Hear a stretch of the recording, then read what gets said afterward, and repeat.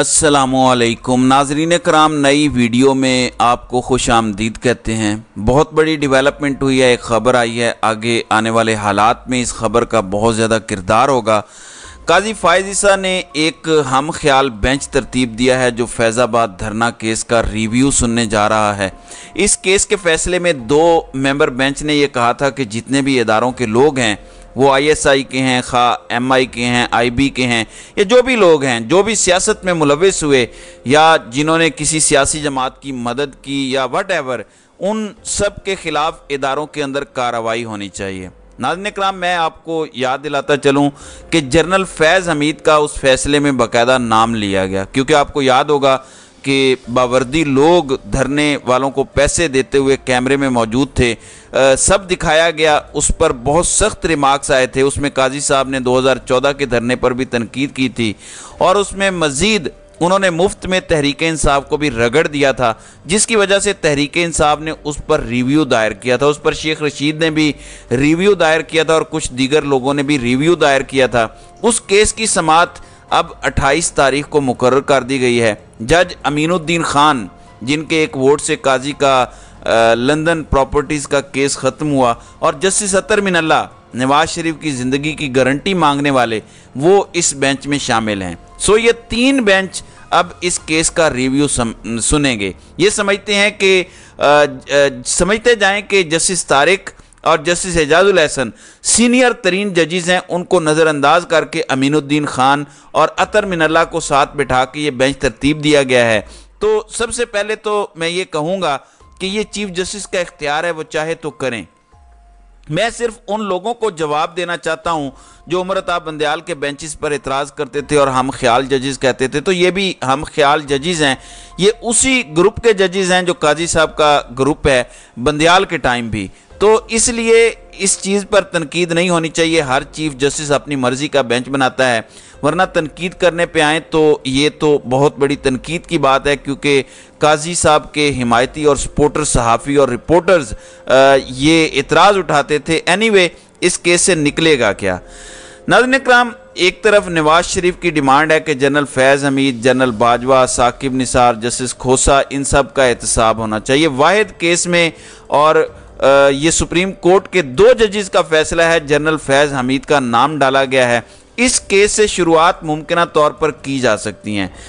लेकिन मैं आपको कुछ और बताना चाहता हूँ। बकौल इमाद यूसुफ, जो ए आर वाई के प्रोड्यूसर हैं शहबाज गिल का जब मामला हुआ तो उन्हें भी गिरफ़्तार किया गया था, उन्होंने ट्वीट किया है। कि फैसल वाडा ने कुछ दिन पहले ये ये प्रिडिक्शन की थी दो चीज़ों की। नंबर एक, कि जस्टिस उमरताब बंदयाल नैब तरामीम उड़ा देंगे और नैब का पुराना कानून बहाल हो जाएगा। ये फैसल वाडा ने प्रिडिक्शन की थी। इसके अलावा जो फैसल वाडा ने प्रिडिक्शन की, वो ये थी कि काजी साहब आएँगे और सबसे पहला केस जो वो उठाएँगे, वो फैज़ाबाद धरना केस होगा। अब आप यहाँ से समझ जाएँ, ये किसकी ख्वाहिशात पर केस उठाया गया है? अगर अगर मुझसे आप पूछें तो जो भी लोग वर्दी में हैं, वो किसी भी इदारे से हों, उन सब का एहतसाब होना चाहिए। किसी को भी सियासत करने का इख्तियार नहीं होना चाहिए। लेकिन अगर गवाल मंडेला की ख्वाहिशात पूरी करने के लिए किया जा रहा है तो फिर ज़ाहिर है इस पर तनकीद होगी और इसका लेटमस टेस्ट ये होगा कि अगर इस, उस वक़्त D G I S I general Naveed Mukhtar जो कि नवाज़ शरीफ के रिश्तेदार थे, क्या उन्हें बुलाया जाएगा? क्या जनरल फैज़ हमीद कोई काम कर रहा था तो वो अपने तई कर रहा था, इतना ताकतवर हो गया था एक जूनियर ऑफिसर फिर नंबर दो आर्मी चीफ जनरल बाजवा थे। नवाज़ शरीफ उनसे भी बदला लेना चाहते हैं। लेकिन एक और चीज़ जो आपको याद नहीं होगी, मैं याद दिला दूँ 2016 से 2019 के दरमियान डीजीएमआई जनरल आसिम मुनीर थे। तो अगर मिलिट्री इंटेलिजेंस का कसूर करार दिया गया इस फैसले में तो क्या मिलिट्री इंटेलिजेंस के लोग अगर शामिल थे, अगर शामिल थे तो वो भी क्या अपने तय ही काम कर रहे थे या उन्हें ऊपर से ऑर्डर दिया गया था? तो आपको पता चल जाएगा कि कार्रवाई किस तरह की होगी। यानी इस रिव्यू का फैसला कैसे आएगा? काजी साहब किसको टारगेट करेंगे? यहाँ से पता चल जाएगा कि ये नवाज़ शरीफ की ख्वाहिशात पर अमल दरामद है या ये कोई जैनवन मामला है जो काजी साहब रिव्यू निपटाना चाहते हैं। मेरे ख्याल में पाकिस्तान तहरीक इंसाफ को अपनी दरख्वास्त वापस ले लेनी चाहिए, क्योंकि ये अब बड़े छोटे मामला रह गए हैं। लेकिन यहाँ से आपको काजी साहब की तरजीहत का भी पता चल जाएगा। मुल्क में आइन नहीं है, कानून नहीं है। आज एक और जर्नलिस्ट सहाफ़ी को उठा लिया गया क्योंकि उसने एक ट्वीट की तोहना आमेज़ तो कब तक ये सिलसिला चलेगा? इमरान रियाज खान गायब हैं। सरकारी सियासी वर्कर्स हब से बेजा में रखे हुए हैं। उस्मान डार गायब हैं। शेख रशीद को गायब किया हुआ है। और कितने लोग हैं? परवेज इलाही के साथ किस तरह का जुल्म हो रहा है? तोहन अदालत हो रही है, लेकिन उसके बावजूद नहीं छोड़ा जा रहा। तो काजी साहब ने यह बेहतर समझा कि इन सारी चीज़ों को नज़रअंदाज करते हैं। मुल्क में इलेक्शन हो ना हो, आइन हो ना हो, कानून हो ना हो, जमहूरियत हो ना हो मैं 2017 के फैज़ाबाद केस को उठा लूँ। हालाँकि ये बाद में भी किया जा सकता था। काजी साहब इस महीने डेढ़ महीने में अपनी जमहूरियत बचाते, सारे मामला ठीक करते, इंसानी हकूक़ बहाल करवाते, फिर आराम से, शौक से फैज़ाबाद धरना केस सुनते। लेकिन ऐसा हुआ नहीं, जिससे पता चलता है कि मेरे ख्याल में दाल में कुछ काला है। अनलेस ये केस लगता है और सब डिसमिस हो जाता है। सब अपनी दरखास्तें वापस ले लेते हैं और ये केस डिसमस कर दिया जाता है और कोई ऑब्जर्वेशन नहीं दी जाती। हाँ अगर इसमें कहा जाता है कि अब इस पर अमल दरामद करवाया जाएगा फैसले पे तो ज़रूर अमल दरामद करवाएँ। लेकिन फिर अक्रॉस द बोर्ड अमल दरामद करवाएँ, फिर सब के ऊपर अमल दरामद करवाएँ। फिर हमें लगेगा कि आप दुरुस्त जो है वो बात कर रहे हैं। नाजरीन कराम अब आते हैं नवाज़ शरीफ की तरफ़। नवाज़ शरीफ से किए गए वादों की खातिर तहरीक इंसाफ को तबाह किया गया। इमरान खान को विलन करार दिया गया। इमरान खान अब भी जेल में हैं, बाहर नहीं आने दे रहे। उसके बावजूद गवाल मंडेला की डिमांड्स बढ़ती जा रही हैं। गवाल मंडेला, जो आलमी इस्टेब्लिशमेंट का सहूलतकार और फ्रंट मैन है, उसे ये लगता है कि क्योंकि मेरे पीछे आलमी इस्टेब्लिशमेंट है, मैं जो डिमांड करूँगा पूरी होगी। लेकिन कुछ डिमांड्स ऐसी हैं जो मुझे लगता है कि अगर वो पूरी कर दी जाएँ तो फिर पिंडोरा बॉक्स खुल जाएगा और फ्यूचर में कोई भी महफूज नहीं रहेगा। इसलिए भी आ, शायद कुछ सोचा जाएगा इसके हवाले से कि कहाँ तक जाया जाए। नज़र कराम आपको आप याद करें कि जब नवाज़ शरीफ ने गुजरावाला की तकरीर की थी तो उसके एक दो महीने बाद अचानक नवाज़ शरीफ ने जनरल बाजवा का नाम लेना छोड़ दिया था। लेकिन जनरल फैज़ हमीद को रगड़ा फिर भी जारी था। ये एक कैजुअलिटी मुझे ख़तरा महसूस होता है कि ये होगी इस सारे मामले में। हो पाता है, नहीं हो पाता, अल्लाह बेहतर जानता है। लेकिन हमारे कंसर्न है, हमारा कंसर्न है अक्रॉस दी बोर्ड अकाउंटेबिलिटी अगर होनी है तो सब की हो। जो जो भी 2017 के बाद सियासत में हिस्सा लेता रहा, और आप अब तो गवाह भी आ चुके हैं। आप लोग ये राना सनावला का बयान सुने ज़रा। इससे क्या सवाल पूछा गया और इसका क्या जवाब था, मुलायजा करें। बावजूद इसके कि जनरल बाजवा वही आर्मी चीफ है जिनको आपकी पार्टी ने एक्सटेंशन के ऊपर साइन किए और बाकायदा एहतमाम किया उनको तीन साल मजीद देने का।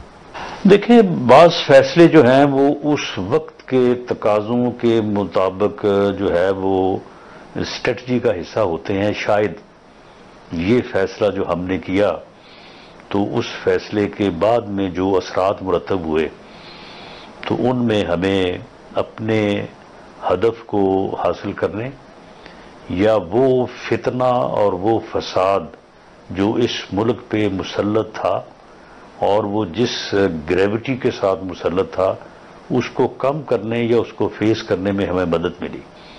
तो इसलिए इस सूरत हाल में बाज़ चीज़ें जो हैं वो नज़र और तरह से आ रही होती हैं, लेकिन उनके इम्प्लाइड जो असरात होते हैं, वो कुछ और तरह से होते हैं। जी नाजरीन कराम ये बात बिल्कुल वाज हो गई कि ये खुद कह रहे हैं कि हमने एक्सटेंशन का वोट इसलिए दिया था कि इसके बाद इमरान खान के खिलाफ साजिश हुई, जिसे ये खुद फितना कहते हैं। फसाद कहते हैं कि एक्सटेंशन इसलिए दी 2019 में ताकि इमरान खान का इंतज़ाम किया जा सके। आपने फिर देखा कि क्या हुआ किसने कैसे किया सारे मोरे कैसे हिले। इससे पहले ख्वाजा आसिफ ये खुद कह चुके हैं कि जिस दौरान एक्सटेंशन का मामला चल रहा था हमें ऑफ़र हुई थी कि पंजाब हुकूमत आप ले लें। तो ये आ, सब कुछ हुआ तो अक्रॉस दी बोर्ड अकाउंटेबिलिटी होनी चाहिए। इसके बाद अभी जो इमरान खान के खिलाफ कार्रवाइयाँ हो रही हैं अगर करना है तो फिर जिसने जब जब सियासत में हिस्सा लिया, जब जब सियासी बयान दिए, जब जब सियासत में एंट्री मारी, जब जब किसी सियासी जमात के खिलाफ काम किया, फिर सबकी अकाउंटेबिलिटी होनी चाहिए। अब नाजरीन कराम जो मुलाकातें हो रही हैं, आरिफ अलवी की मुलाकात का पिछली वीडियो में मैं बता चुका हूँ। उसके बाद मोहम्मद अली दुरानी से तहरीक इंसाफ के वफद ने, जिसे असद कैसर लीड कर रहे थे, मुलाकात की। है ज़ाहिर है ये मुलाकातें सिर्फ़ एक मकसद के लिए हैं। इमरान खान अपनी रजामंदी से माइनस हो जाए, सियासत से बाहर चला जाए और पार्टी अपनी रजामंदी से किसी के हवाले कर दे, बस ये वाद ऑप्शन है। मैंने आपको बताया था कि इसके अलावा ये कोई ऑप्शन अफोर्ड नहीं कर सकते। इन्हें डर है कि इमरान खान इतना उसूल पसंद है कि वो बहुत सारी चीज़ों पर कॉम्प्रोमाइज़ नहीं करेगा तो ऑप्शन तो यही होगी। लेकिन देखते हैं कि इसके अलावा मामला कब तक और कितने अरसे तक आगे जाते हैं। देखें मुजाकर के लिए लोग तभी तैयार होते हैं जब उन्हें पता होता है कि बात नहीं बन रही। अगर बात बन रही होती तो क्या ज़रूरत थी मुजाकर करने की? ज़ाहिर है, परेशानियाँ ज़्यादा हैं, मुल्क की मीशत इनसे चल नहीं रही, हालात बहुत ख़राब हैं, अवाम का कचूमर बन चुका है। और आज मैं अमार फारूक जिस बच्चे को कत्ल किया गया, उसके भाई जो उससे दो साल बड़ा है उसको सुन रहा था, वो कहता है कि हम अब पाकिस्तान छोड़ के जा रहे हैं, हमने यहाँ नहीं रहना, हमारे भाई को इन्होंने मार दिया, जैसे ही बाबा को छोड़ेंगे तो हम ये मुल्क छोड़ के यूके चले जाएँगे। इस उम्र के बच्चे के दिल में पाकिस्तान से कैसी मायूसी पैदा कर दी गई है? और ये एक घर की कहानी नहीं, ये घर घर की कहानी है। पूरी कौम को मायूस किया गया है। ये फिफ्थ जनरेशन वॉर का सबसे बड़ा टूल है कि कौम को मायूस कर दिया जाए। इन्होंने ये जो आ, सब बैरूनी कुतों की ईमा पे कौम को मायूस किया है ताकि ये कौम किसी काबिल ना रहे और सिर्फ़ अच्छी गुलाम बन के रहे या ये मुल्क छोड़ जाएँ। ये सोच समझ के किया गया है। लाखों लोग हर माह मुल्क छोड़ के जा रहे हैं। इतनी बड़ी हिजरत जितनी इन अठारह माह में हुई है मैं चैलेंज करने को तैयार हूँ। उन्नीस में पाकिस्तान बनने के बाद एक हिजरत हुई थी और एक हिजरत पिछले सोलह सत्रह माह में हुई है। ये मेरा चैलेंज है तमाम इदारों को कि कोई भी डाटा निकाल के मुझे दिखाएँ कि इन सोलह सत्रह माह में जितने लोग आ, मुल्क छोड़ के गए हैं इससे ज़्यादा कभी गए हों इतने टाइम पीरियड में। इस मुल्क के हालात ठीक करने हैं तो अस्सी फ़ीसद लोग इमरान खान को अपना लीडर मानते हैं। आपको इमरान खान को इज़्ज़त देनी पड़ेगी वरना यही सूरत हाल मजीद बिगड़ती जाएगी और आपके लिए सिर्फ़ नफरतें बढ़ेंगी जो कोई भी नहीं चाहता। हम चाहते हैं कि सेंस प्रिवेल करे, जो भी कोई एजेंडा है उससे नीचे उतरें और पाकिस्तान को सामने रखें। और अगर पाकिस्तान को सामने रखना है तो फिर आपको इमरान खान को इज़्ज़त देनी पड़ेगी। तो नाजरीन कराम आपकी इस वीडियो के हवाले से क्या राय है? आप अपनी राय का इजहार कमेंट सेक्शन में ज़रूर कीजिएगा।